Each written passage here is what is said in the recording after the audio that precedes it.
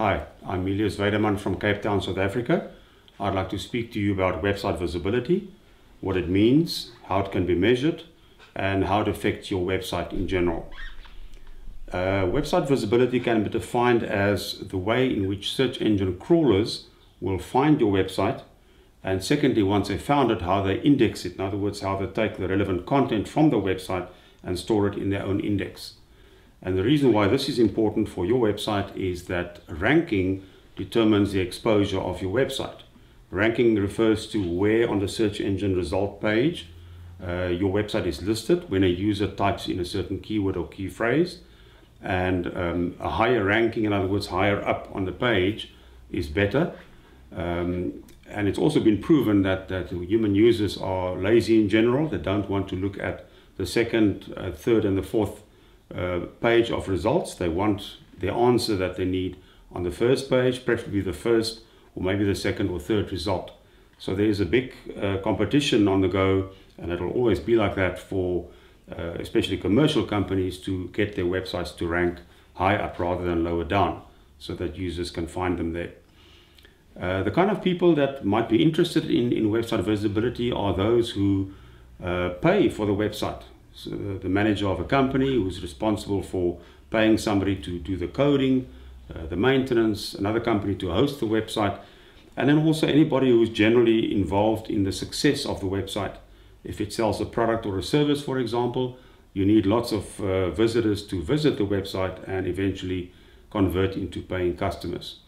To achieve visibility, um, there are basically two broad categories of things you can do. First one is called SEO, search engine optimization, which is uh, a series of procedures and things you can do to a website and to other things outside the website. Um, and this will over time improve the visibility of the website if it's done correctly. Secondly, you can do PPC, uh, paid uh, pay per click, which is um, an arrangement between, you, between yourself and the search engine where you have to write a small advertisement. Uh, the search engine will publish it at certain times when uh, the users type in the correct keywords. And if they click on that advertisement, um, the search engine will subtract a small amount, the bid amount as it's called, from your budget until the budget has been depleted.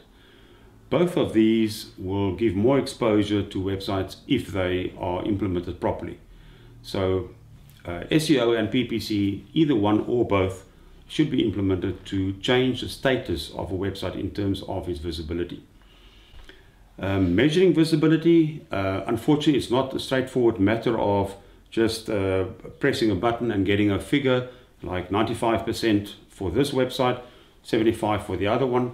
Uh, the first one is better. It's not that simple. There are too many uh, factors which influence the visibility but there are many programs, uh, even free programs on the web available which allow you to get a, a, a picture of how your website, website features, especially when you compare it to um, an alternative website of the same type. And in another video, there'll be more about this.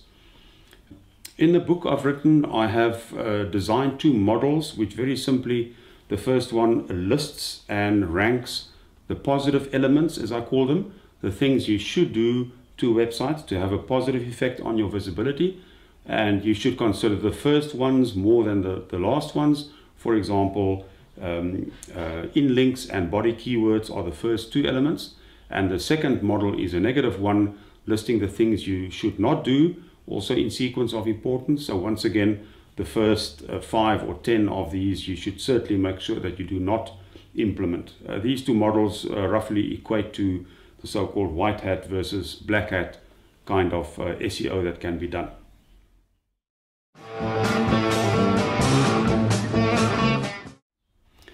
Mentioned in the video about the book that I've written. It's titled Website Visibility, The Theory and Practice of Improving Rankings by Chandos of Oxford. You can order it from the website www.web-visibility.co.za.